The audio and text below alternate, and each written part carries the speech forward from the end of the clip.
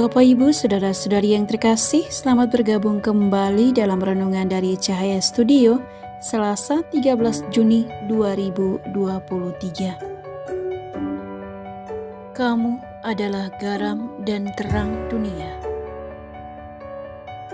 Sapaan Yesus hari ini mengajak kita semua untuk menjadi garam dan terang dunia. Seperti apakah menjadi garam dan terang dunia?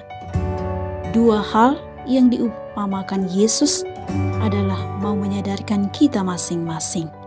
Apakah hidup kita memberi kebahagiaan bagi sesama? Memberi rasa dalam kehidupan seperti garam yang memberi rasa pada makanan. Memberi cahaya bagi kehidupan seperti terang yang selalu memberi terang pada kegelapan.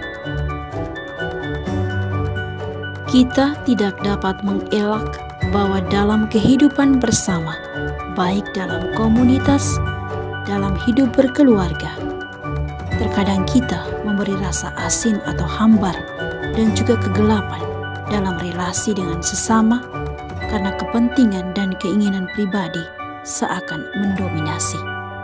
Tetapi kembali di hari ini, kita disadarkan bahwa hidup kita seharusnya memberi kehidupan yang positif sesama yang hidup bersama dan juga bekerja sama dengan kita setiap hari.